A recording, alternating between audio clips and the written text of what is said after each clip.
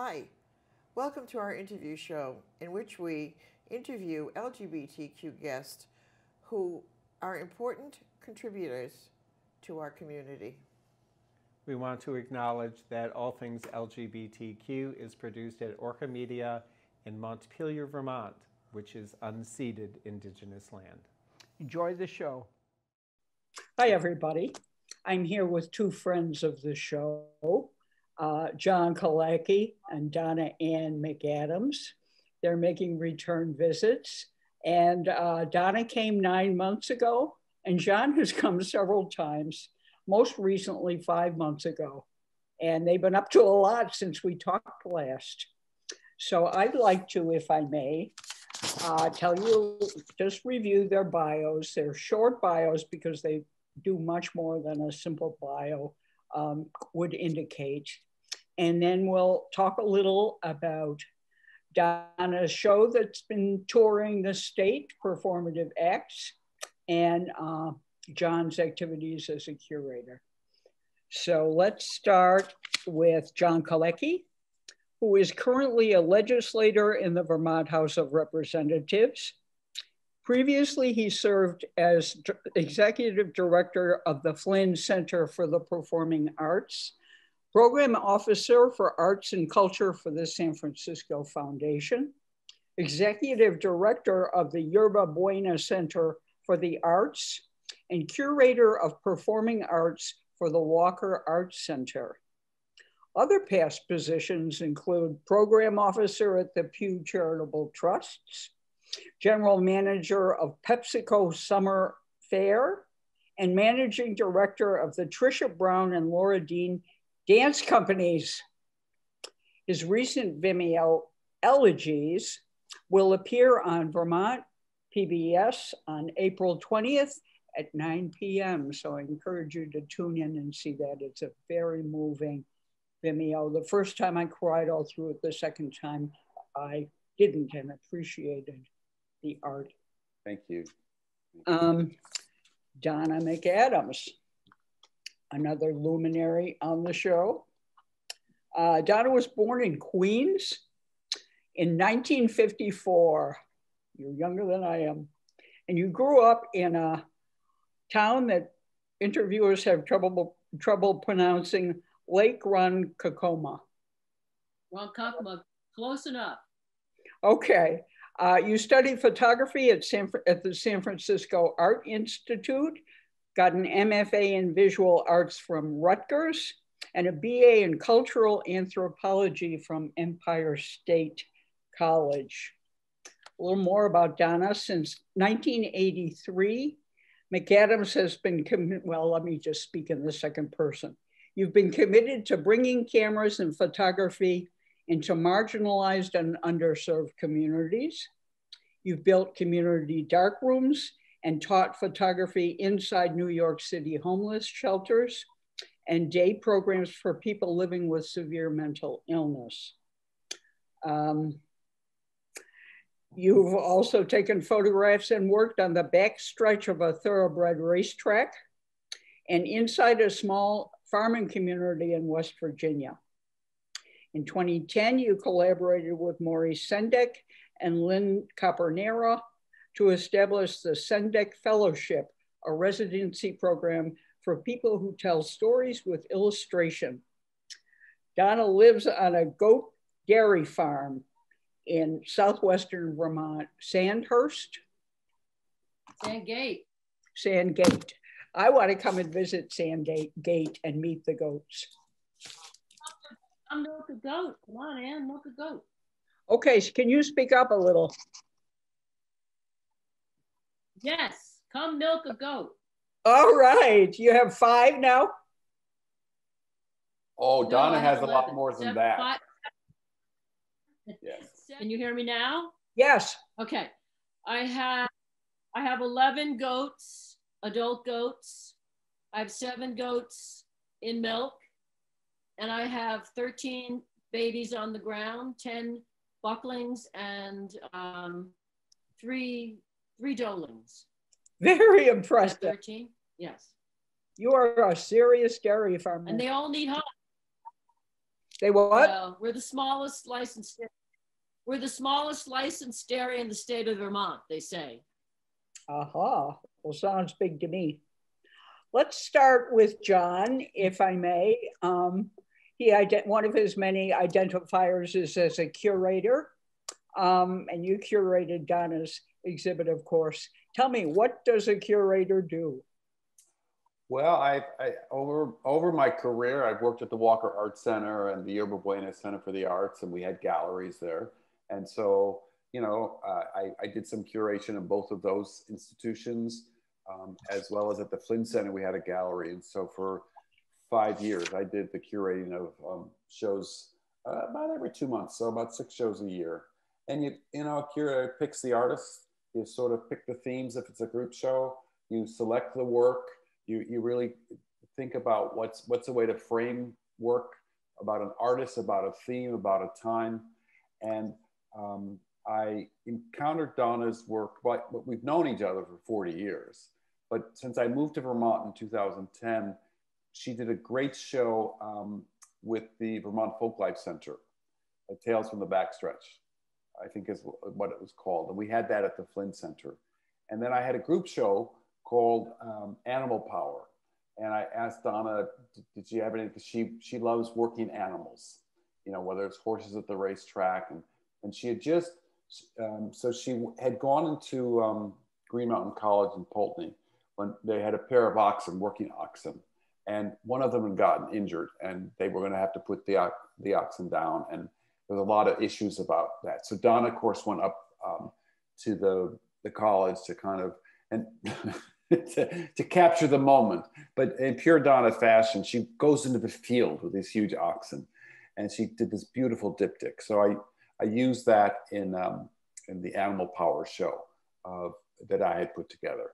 And then in January 2018, I called Dona and I said, you know, Vermont doesn't really know how important you are, how central you are, how seminal, seminal you've been to kind of queer liberation, and the avant-garde in this the 80s and 90s in New York. It's really important. And I would like to see if I could, I'm going to be retiring from the Flynn.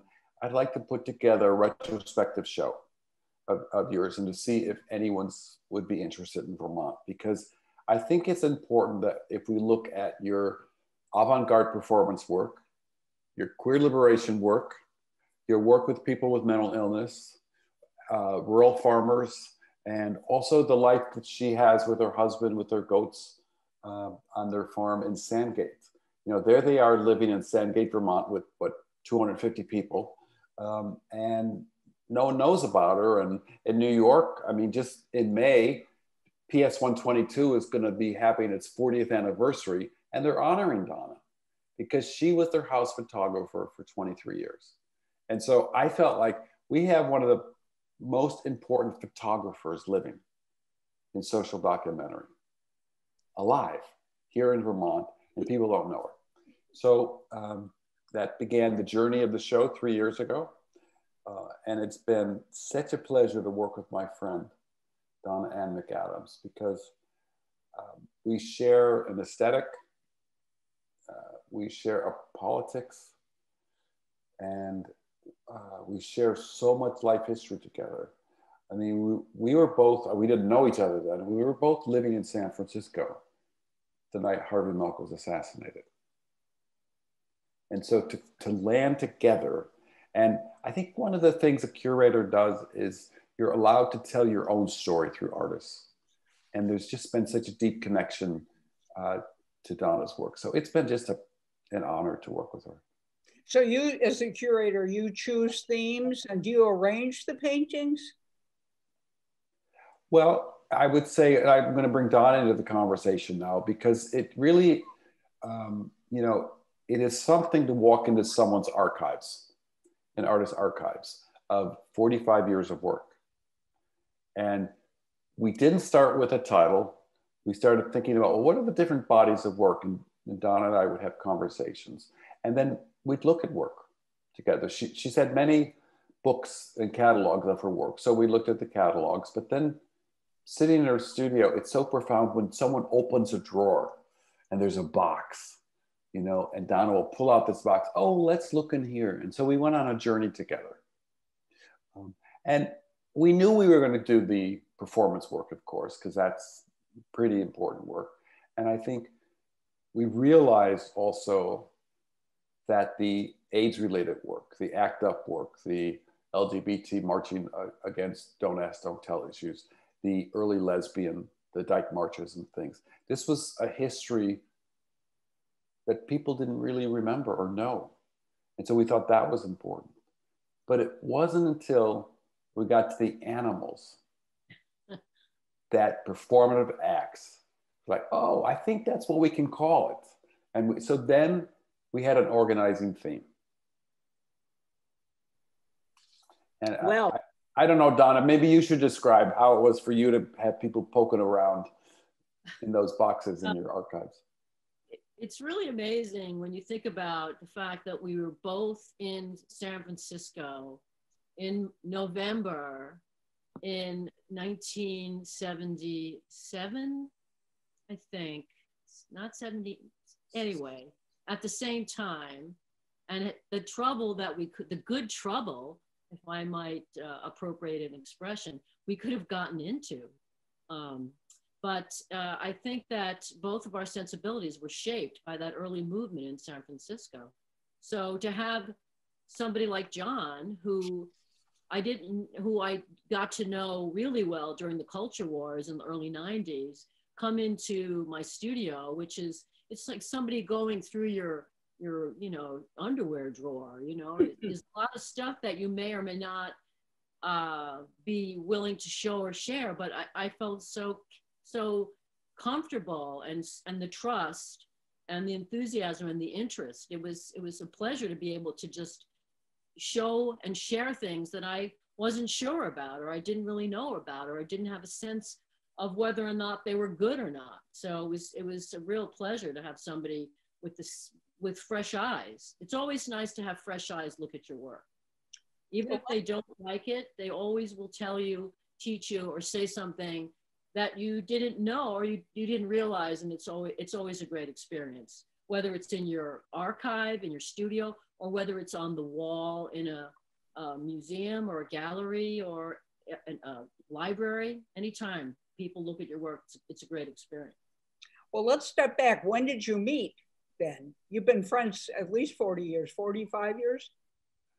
Uh, uh, no we, we i've known dona for 40 years because she yeah. when she was the house photographer for PS 122, she'd actually be sitting on the edge of the stage, and I'd be in the audience because I was uh, a curator at that point at the Walker Art Center, and so I'd be going to see shows, and I wanted to see what was the, you know, because it was the place for the avant-garde, and so I'd be seeing these shows, and I thought, who is this strange woman with her Leica camera just right there?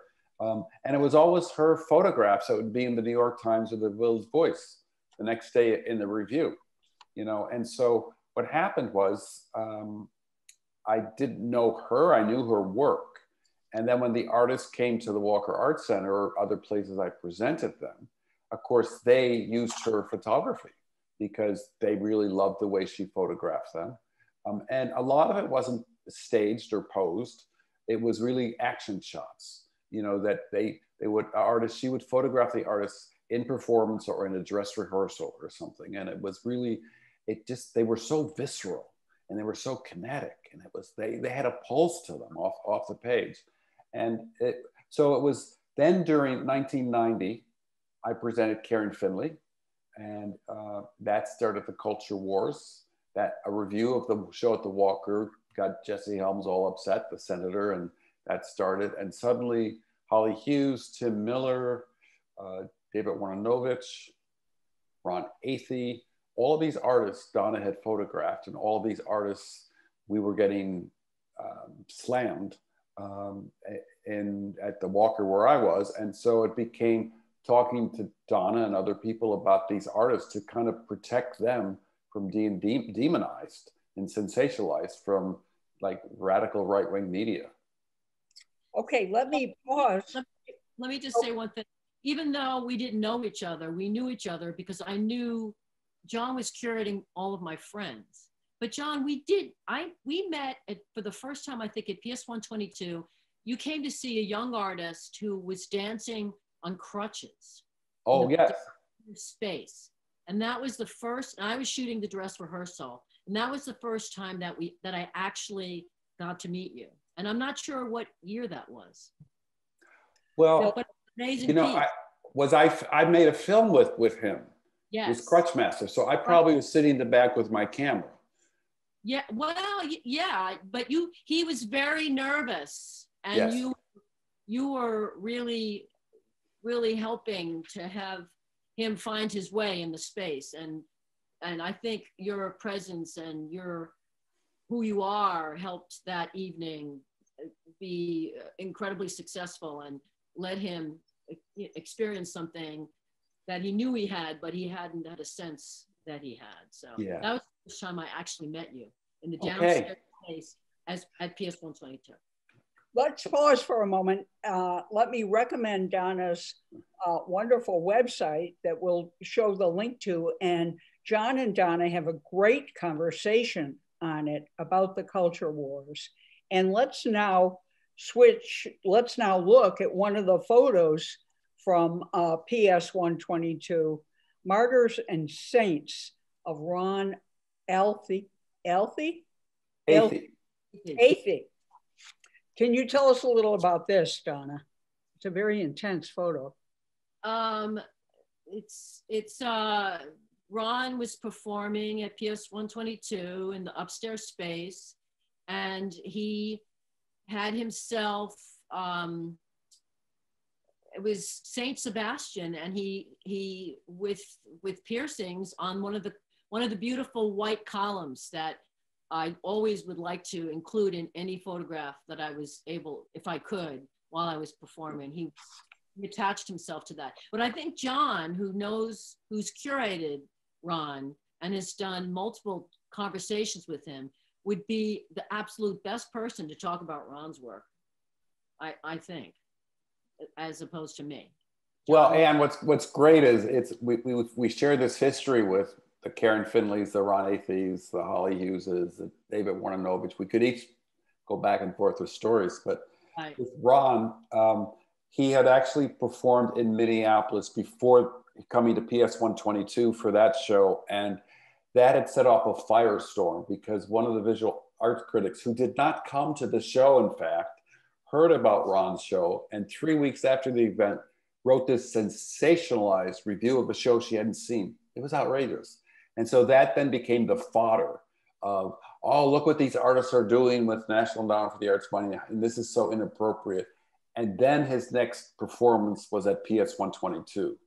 So, of course, all the media was very interested in, in getting images of this radical artist.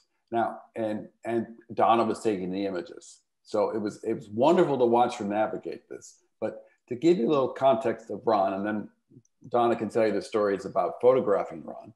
Um, he, he had a really interesting life. He grew up in a, a Pentecostal tent show family, and his um, his mother and his aunt, and I think probably his grandmother, were schizophrenic, and they had a very unstable life together. But they would bring Ron to the tent shows, and early on, around the age of eight, he would start speaking in tongues and dancing in these tent shows. And he became known as one of these Pentecostal healers. Um, and it was very odd for a young kid to do that. And he, he's living in Los, in Los Angeles. Well, as he grew up, he got he became much more of a punk in, in the punk aesthetics. And then he also be, uh, got into the leather and bondage scene in, in Los Angeles. And he, he became a junkie. Uh, and so his work is interesting because it really deals with all of these issues in his life. It deals with redemption, it deals with healing from addiction, it deals with the bondage issues of what the limits are in persons, and it deals with religious iconography. So the picture that you're, you were showing is actually a Saint Sebastian picture on purpose, because in that picture, of course, Sebastian was pierced. And mm. so in this um, particular performance moment, Ron is is pierced in, in this side you know, or earlier in, in the same show, there's a crown of thorns that's put on Ron's head. And, you know, I don't know if you've ever gotten acupuncture, but it's like acupuncture needles. It, it hurts a little bit, but not that much. But then there is blood. And so, but it's this thing of, to remember the 90s, body fluids were very frightening and very scary. So it's people like Ron Athey were pushing it, saying we are we are washed in the blood. And this was 1993. You see. Uh, Yep, yeah. And so then then then then he comes to New York and the media is waiting for Dona's images. So Dona, you should take over there now, I think. Well, all during the culture wars, uh, the media and the press, following cues from Helms and his his his band of renowns, were looking for pictures that would illustrate his point. And my responsibility was first to the artist, always to the artist, to, to represent them in the best possible light and in a light they'd like to be seen in. And also at that time, people like John and I and all, all, the, all the artists in all of the performing and, vis- and galleries were, we were the triage unit for the National Endowment for the Arts. So we, we, we would want, we wanted to present work that would not give them the media, the writers, any opportunity to take a photograph out of context, which they would do regardless. But if they had photographs like Ron uh, looking beautiful, Saint Sebastian, Saint Sebastian, Uh, you know, that it would be a lot harder for them to prove their point with my visuals, which did not make them happy. But it was the way, that's how I've always been with permission, I'm not going to cash in. I'm not going to, you can't pay me enough money to put out a photograph that would not make me happy or would not, that would be used against these, these artists and the work that they're creating for the communities that we lived in. Wasn't going to do it. So I did something else. I'm, I'm proud of that. Yes. Let's switch gears and go back uh, five years to uh, the Wow Cafe. This is my request that we include this photo of Paradise Lost at the Wow Cafe in 1988. This is in your exhibit, of course. Tell us about this. Well, you know, there I I love this photograph for so many reasons because all of my friends are in it. And when I was asked to, well, John also wanted to include this photograph in performative acts too, because because of the Wow Cafe and because of, of because of women and because of lesbians and because of our that that particular community. And the Wow Cafe uh, is such a was such and is still a magical place.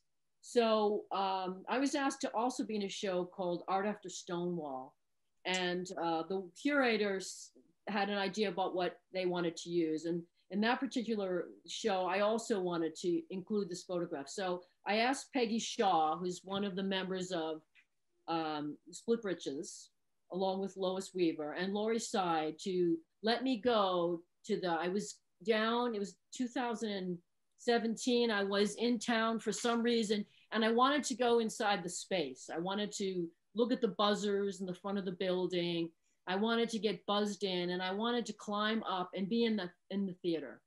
So I could write this little piece about how important the Wow Cafe was for somebody like me. And so I climbed the 50 steps to the fourth floor and sat in the space and uh, was able to sort of have a clearer sense about how important that space was for me. It was it was a place that you could go where you were safe, where you could laugh, where you could have fun, where you would you would cry if you you would you would laugh, you would cry, and it was like church. It was a, it was a really special place for me. Not like my home space, PS 122, where I had a responsibility. I, I had a different kind of responsibility at the Wow Cafe. I had a responsibility to my sisters and to myself, but it was more of a joyous thing. So I just went because I felt like it. I wasn't paid, but I was I got a ticket and I got to sit in the front and I got to do what I did. And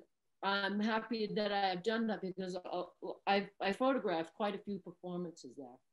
So and I have good friends that performed and came in and out of that. Deb Margolin, Peggy Shaw, Lois Weaver, Holly Hughes, Sharon Dean Smith, Lisa Kron, Peggy Healy, I mean Mo Angelos, a ton of women who were, were important to me in, in the 80s and into the 90s. So he interviewed Eva a, on the show. I didn't oh, mean to interrupt. Eva Weiss, Eva, great photog, Eva Weiss, great photographer. Also was in The Lady Dick, which I think might have been the first performance that I'd shot there, uh, Holly Hughes's piece. But many, many, many performances. I was privileged to witness and document. Well, let's switch back to the show traveling around the state. Performative Acts has been in Brattleboro, Castleton in Rutland, Catamount Arts, Helen Day, where I was privileged enough to see it in person, um, and Burlington. And now it's in Bennington at the Bennington Museum, uh, Yes. where it is going to be showing until August 15th. And then you're going to New York to the Howell Gallery on the Lower East Side. Well, Yeah. you know, that was that was COVID. pre-pandemic. Um, and now the pandemic closed that gallery down for a whole year. And so that's sort of off the table uh, in the short-term calendar at this point. Uh, you know, the pandemic just changed things as, as, as well. So many, so many things.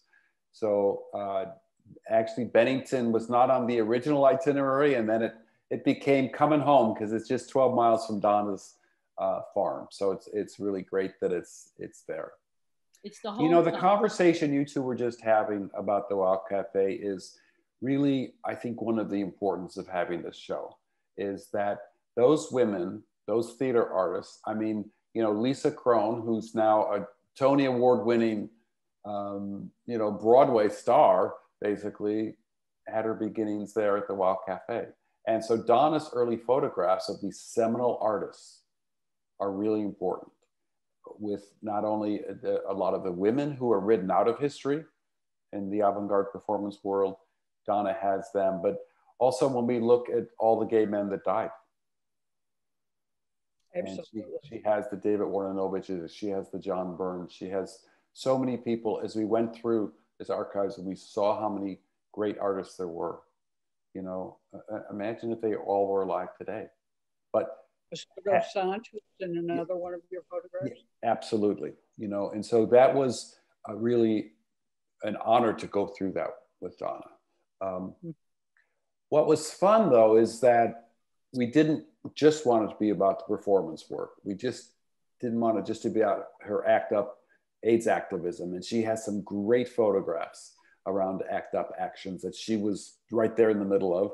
Um, but we also wanted to make sure that the work she did um, with, with people living with mental illness was involved with, uh, you know, and also it was important for it to be current.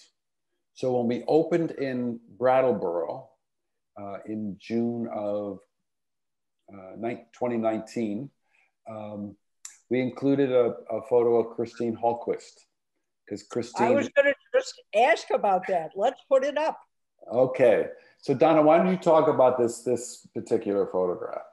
Well, how wonderful to hear the news that Christine was going to be the Democratic candidate in the state of Vermont. How wonderful is that? So I thought, you know, I was doing the show and I mean, and we were, we had, we knew, we had a sense of what it was going to look like. So I, I knew I knew that I needed to, I didn't need to do anything. I was pretty, pretty okay with what I had, but I wanted to do, to have two photographs that were new. So I went to, for, I went, I called John and I said, what do I do? And John said, oh, just call this number and come down for, come up, not down, for the Pride Parade. And I'm sure, you know, be perfectly Yeah, you can do that. And I'm used to, um, having a lot more security and a lot tighter restrictions on access. But so I called the press person and they were like, yeah, sure. Come to the parking lot. Um, I don't remember exactly where it was. And And I'm standing there, and then Christine walks in. Hey, how are you? So I just was able to, you know, meet her and ha- have a conversation, and she knew what I was doing and part of the parade. And it was such a beautiful parade because the parade in New York is just, it's so big and it's so, it's not the same. And this was just, it was the people, it was the community, and it was small and it was intimate, and everybody knew each other, and it was it was really wonderful. So it was really great opportunity for me to, be able to do that. And I also went to Washington with Rosie O'Donnell to to um, to um, sing with a bunch of Broadway people in front of the um, White House. Uh, so those were the two photographs, the new photographs that were included in this show, only because John decided that they were good enough because they have to be good. They can't just be of something. They have to actually be good photographs too. And and Christine came to the opening in Brattleboro, which was just so so great. You know, I hadn't seen her, and and John suggested that I make a a copy of one of the prints and make give it to her as a present and i thought oh sure that's a great idea so we made a little presentation of that photograph from that show to her at the opening. It was great you know for her to be there and for people to meet her and for my friends to meet her and for it was just really nice that she bothered to come. And well uh, she's very accessible. If i just may talk about all things lgbtq the first interview after she declared was on our show. Of course it was supplanted right by CNN and other more famous venues. But, you know, she's a great force in the community. Oh, yeah. She is. And Becca Balint was there at the opening in Brattleboro. It, it was just great. But what was fun, you know, Anne, as we toured this show around, um, the next stop was going to be in Rutland at the Castle uh, Gallery in downtown Rutland in the old bank there. And each of the curators of the shows chose which images they liked for marketing. And it was there that they chose one of the grooms that Dona had taken because she, um, when Saratoga Racetrack is in session, I think what, for eight years or so, Dona? No, like 14. 14, she, she goes every week and she photographs, but she photographs the backstretch workers, the unknown people, not, not the fancy people betting the horses.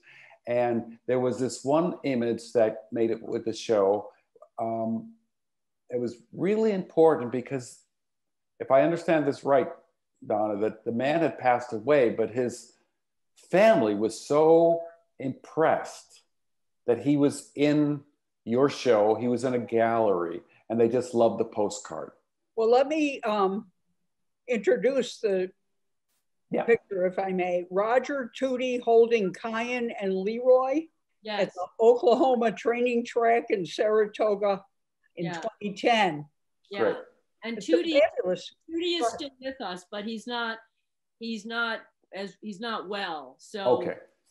But so, and the thing that's great, the thing that's wonderful about the, the, the letting people decide which image, which is giving them you know the perspective for what they think i mean i like to do that it's collaborative and john of course is the same but what i got to do in that building was in the front of the building they had these two little windows that um like they were sort of like display cases and i asked oliver who was the it's his space i told him that i had 200 used aluminum racing shoes from the racetrack that I've used in installations before.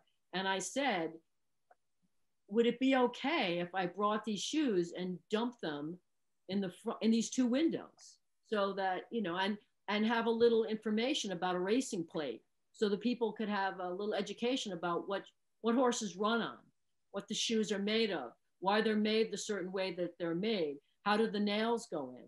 So they had picked that photograph. But it wasn't until John and I saw the space for the first time that we looked and saw those two little spaces that I thought, oh, this is good. So we dumped, yeah, 200 shoes uh, in the in the windows.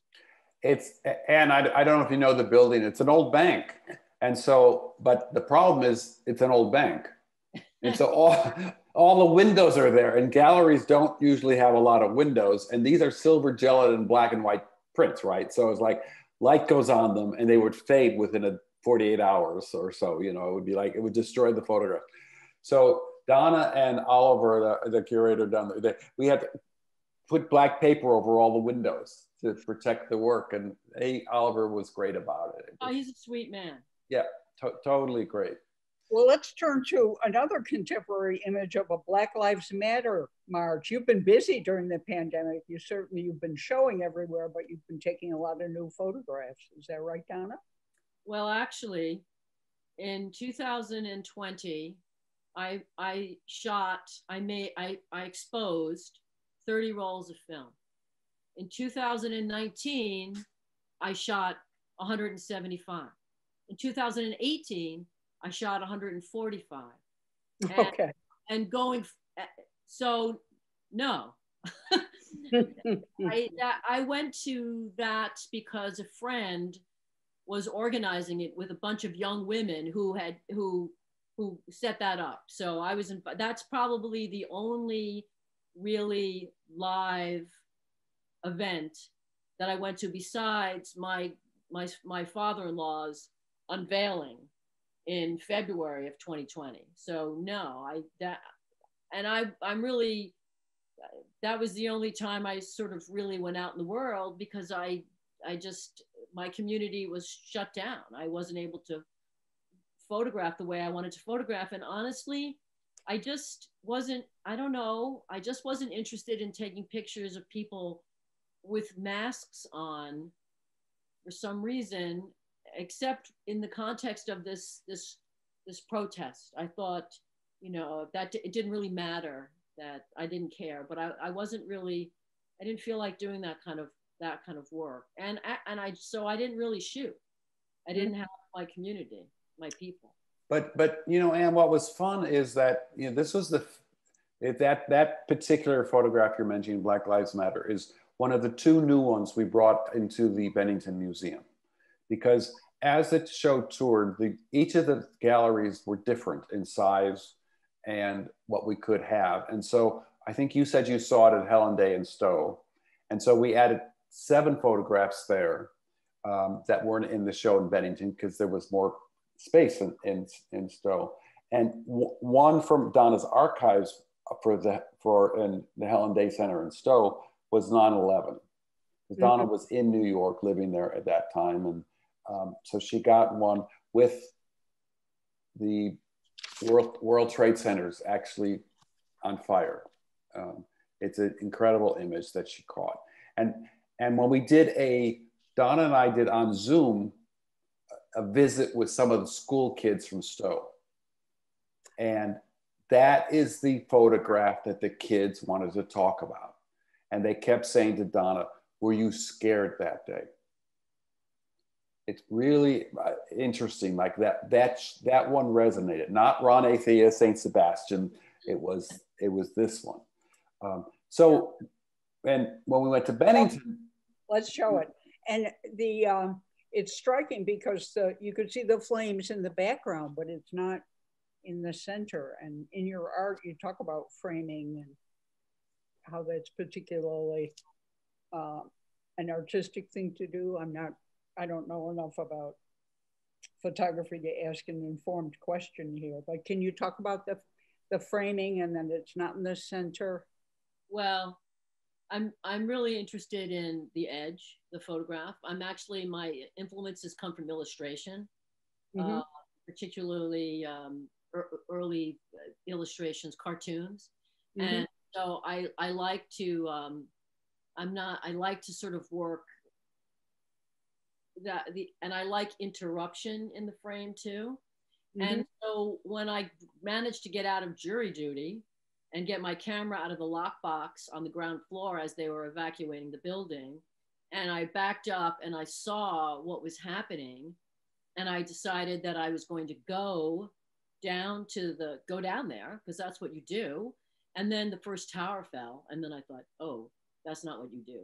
So I made my way back up Broadway And at Canal Street, I stood back and I saw, well, actually, the tower hadn't fallen, fallen yet, but I think I, I, I, I talked to Brad on the phone and he said, don't go down there. That's what happened. He said, do not. And he had no idea. He had to turn on the, radio. And when I was standing on the corner of Canal and Broadway, I looked and the towers were in the background. And there was this advertisement for an Arnold Schwarzenegger movie, Collateral Damage. And I just looked at that and I thought, oh my God. And so I, I made that photograph. I mean, I have pictures of people running farther away up Canal Street, up Broadway, uh, the Oh, tower sure. falling, go, going down. But um, I never really showed any of those photographs. This is the first time that I actually thought about um, showing that, uh, making it public. It is on my website though. I, I decided what the heck. But Mm. uh, it was that was a tricky photograph because it's so it's heavy. It's you know it's it, Oh. is it exploitive. Am I cashing in on the the advertisement for the movie? Am I on stake? People died there. That's a burial place. I mean, there it's it's sacred ground. There's three thousand Mhm. lives there in that space. So it was it was an interesting and tricky and confusing, but I did it, and and I'm I'm glad that I did. It Um, was, uh, you know, it, it, it actually took some convincing. The curator uh, had to convince the artist to actually show it uh, because it is such a powerful image. and that resonated with the elementary school students. That's the one that res- it was fascinating. Um, just as uh, we mentioned that Karen Finley, Don had never shown that that photograph in public either since No. 1990. So as we put this show together, and you know, of course, the first thing she did was call Karen to make sure it was okay, and it, it, it- of course it was, um, because Dona never really wanted to exploit Right. or sensationalize any of this work. No. So, but but I mention this because now that we're at home in Dona's home in Bennington, we said, well, w- what is there about Bennington that we, that we could bring to Bennington?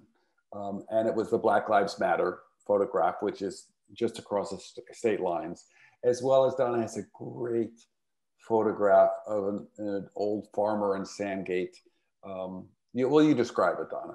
Well, we we added we we as we like to do, as my curator ins- insists on, bringing making things relevant, making them contemporary. So I had I the Black Lives Matter photograph, which I think is a good photograph. Mhm. So we had that. That re- represents 2020, and then um, we decided. John said, "Well, what else? What do you think?" And I have a photograph of Junior Bentley. He's driving some horses with a little, a little, little colt, a little American cream, following his mother, who's harnessed to the the cart uh, in that show. And we also have a photograph of of uh, Jesse Rocco, who's a farmer who lives down the road from me. Well, so does Junior. They're both residents of my hometown. They're both residents of Sandgate. One who's gone and one who's who sells potatoes and corn at the market in Bennington. So when we met with Jamie, John and I, and to see the space, I brought some work because just so he could see what it looked like.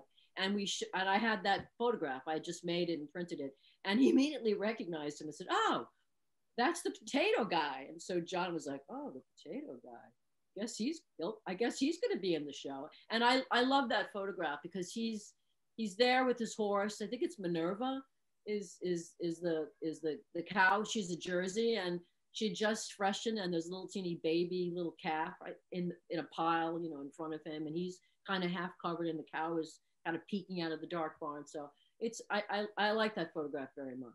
So yeah, so we have three new pictures for Bennington. Now that we're back at the farm, I'd like to quote you to yourself, Dona, if you wouldn't mind. Uh, at a Vermont Council, Arts Council interview, they asked, What is something about your art that has changed over time? You said, My work has become more intimate and personal. I work more closely with animals and the land. My relationship to my work is a direct result of my working alongside, alongside horses, goats, and neighboring farmers. Now I'd like to switch to Northern Spy Farm in 2007 to see a picture of your husband, who uh, aforementioned, uh, in a wonderful photo called Goat Song. Can you tell us? It's like he's communing with the goat. It's wonderful. He Can is. you tell us about it? Yeah. Well, that goat, that's Lizzie. Aha! Uh-huh. She's if you've read Goat Song, she's she's one of the four original goats. She's one of the four original goats that we got when we first brought our goats here. And he she was a very special goat to everybody, but in particular to Brad. He he loved her very very much and she and him well we all have connections with animals in different ways but lizzie was um and you know as all of our all of our does all of them they're all really special but as she was the herd maker from her are a line of goats right down to like the fourth or fifth generation of her her daughters are with us. In fact this year last year we kept um, uh, two years ago we kept harvey milk out of our goat named zlata and this year we kept another doe from zlata who is you know, comes from Wiki, comes from that whole line of, of lady goats. Uh, and we're keeping a little doeling this year. I, I think her name is going to be Freddie Mercury. So I think Lizzie is no longer with us? No, Lizzie passed away for, she was probably 12 when she left. And on the ground now in the retirement zone, we have um, Jewel, who's 13. Tilly, we lost this year. Uh, she was 14. Wicca, we lost. She was 12. And Foyt, who's 11. So there's there's there's a little retirement community, and the, those retired goats raise the babies, and it's so it's really nice to see. If only we could learn as as human beings how important the elders of our community are. Here are these old goats raising the babies. Why can't we do that? Why can't we bring our old together with the young? I mean, why do we? It, it's just it, it just doesn't make any sense to me. When you can see it, you see it here. We could learn so much from animals if only we'd pay attention and listen. So well. Lizzie is memorialized in a photograph. Yes. Um, and speaking of goats and the farm, in one of the interviews that uh, a fabulous interview that you and John did at Catamount Arts Library, um, you talked about learning a Swedish um, goat call from Meredith Monk. And you were kind enough to share it with the live audience at the library. And I was wondering if you would be kind enough to share it with us. It was lovely and euphonious. Okay. Um, well, John and I have a special connection to Meredith Monk. Uh, I mean, he he brought her to the walk to the Walker. She Meredith is um, rides. She knows about horses. In her studio, there's a photograph that I gave her in the early '90s. It's one of the one of the only works of art that um, uh, is not necessarily hers or in relationship to who her sensibility. It's in there. And um, when I first came to New York eh, from San Francisco, I went to a performance um, at St. Mark's Church with a, a dancer and friend, Aldona Regalis. And she was doing the Plateau Series number two. And um, the, this, this riff that it's this riff that she had, this improv- improvisational movement, but also voice, which is what she she does often in her work, really stuck by me. And so when I got my goats and Brad started to research for goat song and we started to look at, you know, how do people get animals to come in? How do they call them? How, what, what's the relationship? I decided to uh, to use this monk riff. And it's not exactly what Meredith did, but you know, I've never done it in front of Meredith. Uh, but uh, I'd have to sort of let me see how I can get into. John, do you have anything to say about Meredith as I prepare? Well, and we also have a picture we could show of her uh, at PS 122 doing volcano songs. Yes, yes, yes. 1994. Let's show that while you compose yourself. Okay. Uh, you know, uh, and that that again, this is a shared history with volcano songs. I had commissioned Meredith to do an opera called Atlas, uh, and it was with the Houston Grand Opera and the Walker. And I actually have on my arm a tattoo from Atlas, an image of a horse that is uh, from from Meredith's horse. Um, so that was, but after after Atlas, she had worked five years on this huge opera piece, and uh, she it actually was just remounted in Los Angeles two years ago to great acclaim, and it, it's a it's a really great work. Um, but she said, I just want to go into the studio and start over. I don't want to have a project in mind. I can't, you know, I can't figure out the project before. And so I said, okay, well, let's see if we can raise money for you just to begin again. And so we did. And it, uh, she, we got a little bit of money together and the piece was a solo and it was called Volcano Songs. And the photo in this exhibition that's touring right now through the state has Meredith in that solo format in Volcano Songs. So there's, there's almost all of these artists we could talk back and forth on. But let's hear Meredith Monk's Goat Songs now. Oh, okay.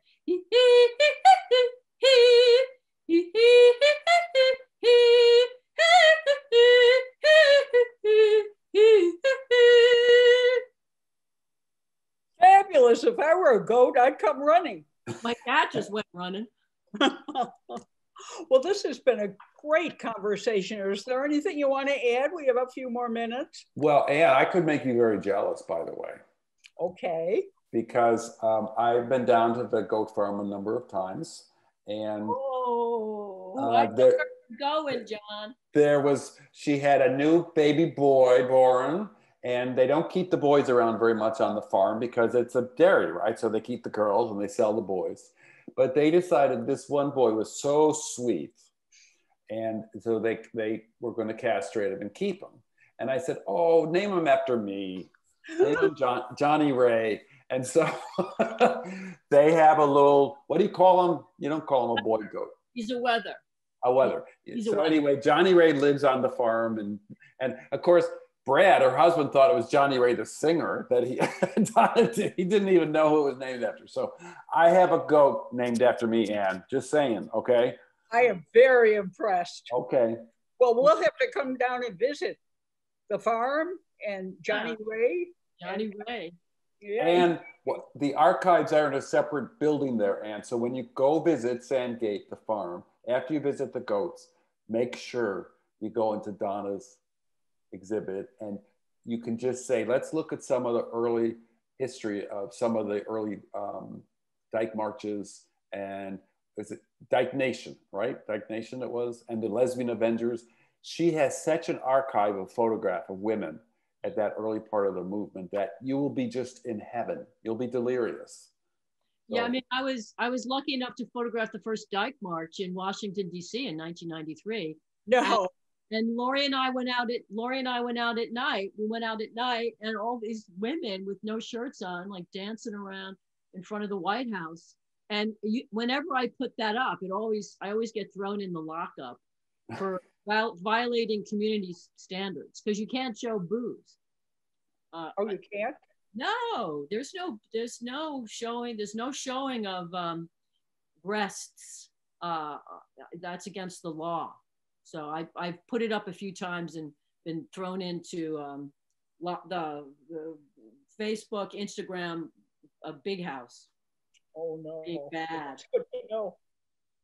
Friends, this has been wonderful. And you'll have to come back again when in the next incarnation of the show as you continue to travel around and work together. Thank you so much for coming. Oh, Uh, and thank thank you for having us. Yes. Thank you so much for having us. Thank you for joining us.